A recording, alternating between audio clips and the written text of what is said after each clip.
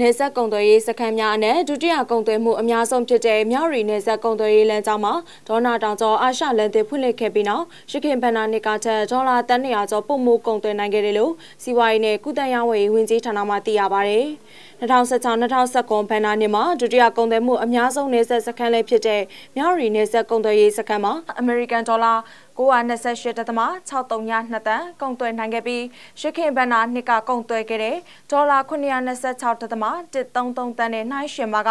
ကန်ဒေါ်လာ202.469တန်ပို့မှုကုန်သွယ်နိုင်ခဲ့တာဖြစ်ပါတယ်။နေဆက်စခန်းများရဲ့အများဆုံးကုန်သွယ်မှုစခန်းမှာမူဆယ်နေဆက်ကုန်သွယ်ရေးစခန်းဖြစ်ပြီးပို့ကုန်ကုန်သွယ်မှုမှာကန်ဒေါ်လာ3446.146တန်ပြည်ရင်းကိုတင်သွင်းမှုမှာကန်ဒေါ်လာ1639.151တန်ကုန်သွယ်နိုင်ခဲ့တယ်လို့သိရပါတယ်။လက်ရှိမှာမြောက်ရီမဲဆောက်အမှတ်နေချစ်ကြည်ရေးတရားတိစောက်ပြီးစီးနေပြီဖြစ်ကလမ်းမိုက်အပါအဝင်တိစောက်မှုလုပ်ငန်းပြီးစီးပါက AEC ကုန်သွယ်မှုမြင့်တက်လာနိုင်ပြီးမြောက်ရီနေဆက်ကုန်သွယ်မှုပုံမှန်မြင့်တက်လာမယ်လို့ခန့်မှန်းကြပါတယ်။မြန်မာထွက်ကုန်ပစ္စည်းတွေဖြစ်တဲ့ရေထွက်ပစ္စည်းများငါးပစုံကနန်းတိုင်းစီများလေဟာထွက်ပစ္စည်းတွေဖြစ်တဲ့ပြောင်းနှံပဲလက်ဖက်ငရုတ်စက်သွန်တွေတင်ပို့လျက်ရှိပြီးထိုင်းနိုင်ငံဘက်ကိုအခုဘဏ္ဍာနှစ်တင်ပို့မှုမှာအမေရိကန်ဒေါ်လာ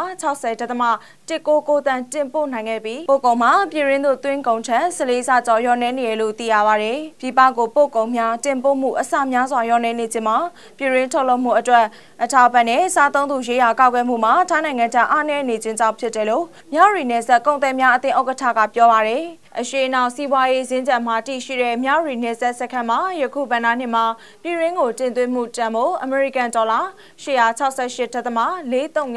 န်းတင်သွင်းနိုင်ခဲ့ပြီးစက်ရနေရများမော်တော်ဆိုင်ကများလုပ်ငန်းသုံးပစ္စည်းများအိမ်ဆောက်ပစ္စည်းများသွတ်တန်ဘီလက်မြေစားတောက်ကုန်မျိုးစုံပလတ်စတစ်ပစ္စည်းနဲ့တတိပြိုးပင်တွေကိုတင်သွင်းခဲ့ပါတယ် 73စီဓာတ်ငွေရှင်များစားသုံးစီတွေကိုတင်သွင်းလျက်ရှိတယ်လို့လည်းသိရပါတယ်။ဒါအပြင်မော်တော်ယာဉ်တင်သွင်းမှုဆိုင်ရာမူဝါဒအပြောင်းလဲအခွန်တန်ကြေးဆိုင်ရာအပြောင်းလဲတွေကြောင့်မော်တော်ယာဉ်တင်သွင်းမှုမရှိသလောက်နှဲပါခဲ့က